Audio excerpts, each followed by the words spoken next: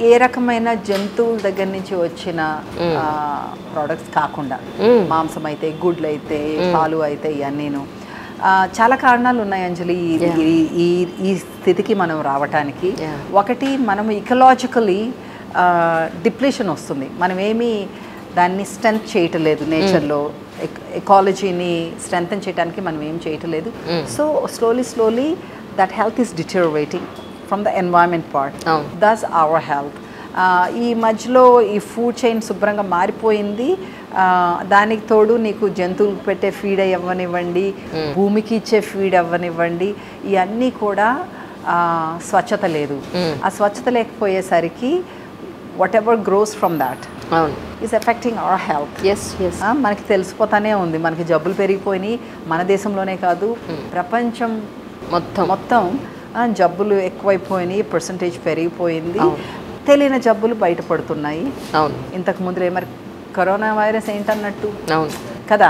అనేటప్పటికి మనము సైంటిస్టులు అయితే డాక్టర్లు అయితే ఇండివిజువల్స్ అయితే చూడాల్సి వస్తుంది we have to see what is happening అన్నది అప్పుడు అర్థమైంది ఓకే స్టడీస్ ఇట్లా ఇలా చూపిస్తున్నాయి.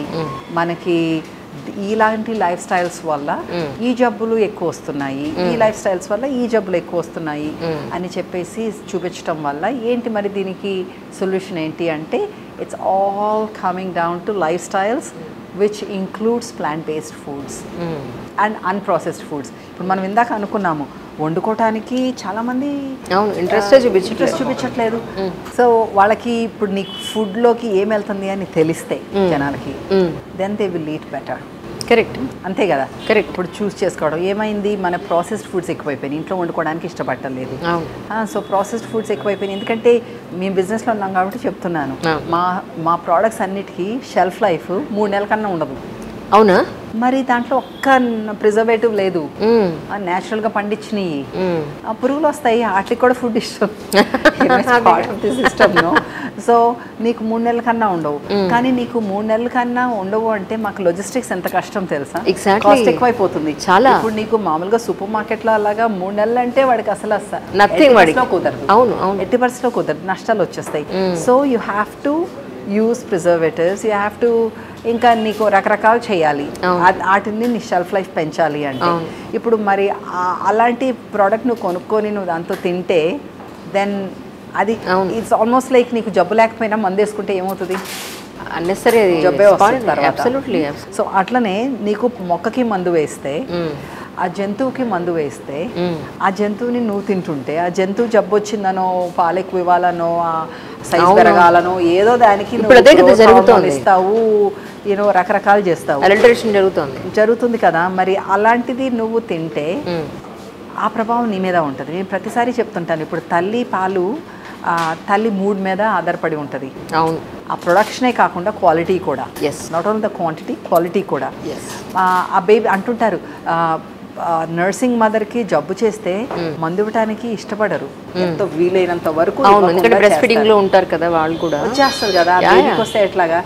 సిమిలర్ థింగ్ ఫర్ అందుకని they are causing us trouble they causing us problem ecological problem environmental problem is another thing అవును అవును అది కూడా చాలా పెద్దగా ఉంది అవును అవును that is one of the reasons why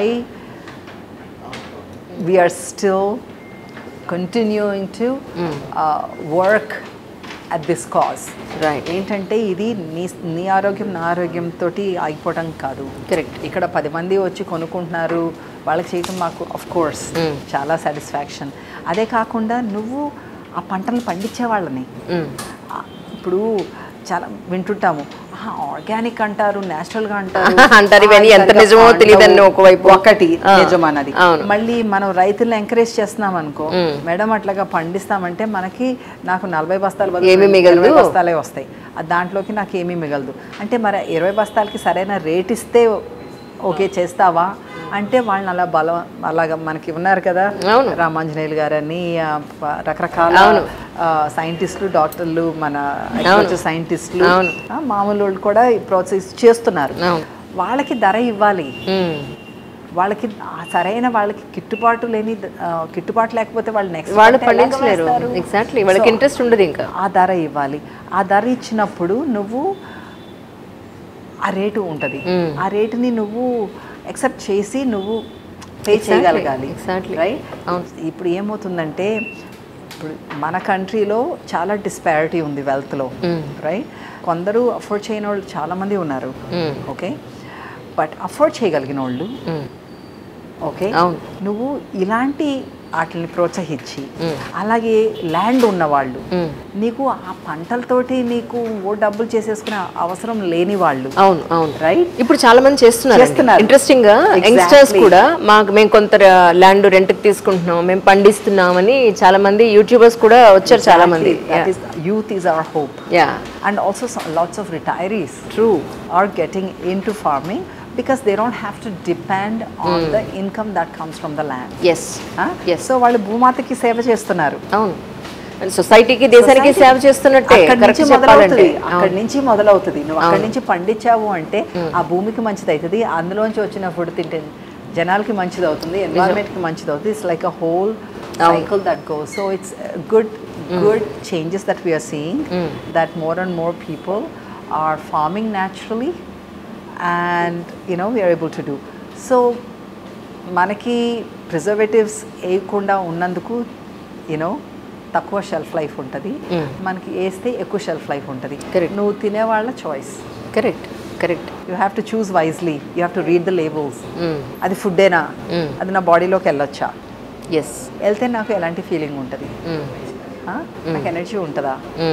రేపు దానివల్ల నాకు ఏమైనా సైడ్ ఎఫెక్ట్స్ ఉంటాయా? Have to analyze a little bit అవును అవును. You have to understand you have to learn you have to make educated educated absolutely absolutely